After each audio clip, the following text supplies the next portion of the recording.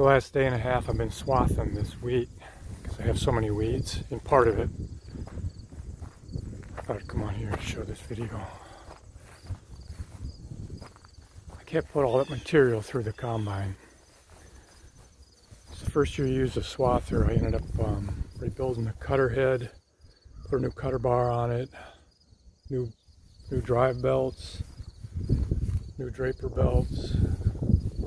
Worked pretty good fixed PTO, new hoses. About two thirds of this wheat,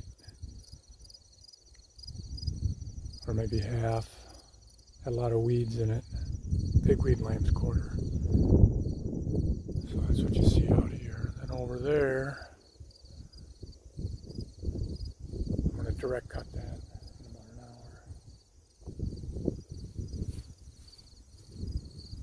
On the other side of the creek is 40 acres. And I noticed, not surprisingly, where I had a poor stand of beans last year and I had a lot of weeds that went to seed. That's where I had most weed pressure this year. Um, we'll see how the wheat yields. I mean, I had a good stand of it. We didn't get much rain when I needed it. Then we did get rain after it had already fully grown. So I'm thinking I'll get a low yield, but maybe a good test weight. We'll see.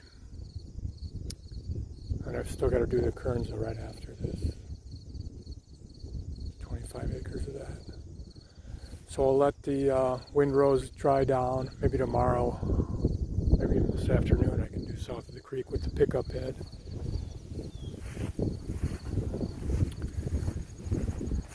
A windy today. So I've got the pickup head on the combine. Because initially I thought I'd, I'd swath all this. I got pigeons in here. I'm going to take this pickup head off. And um,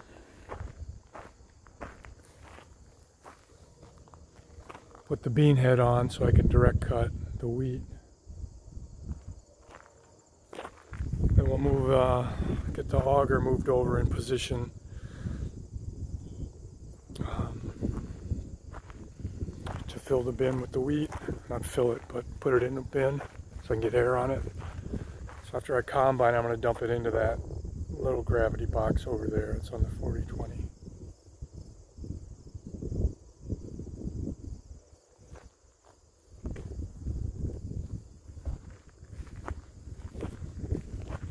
Nice day.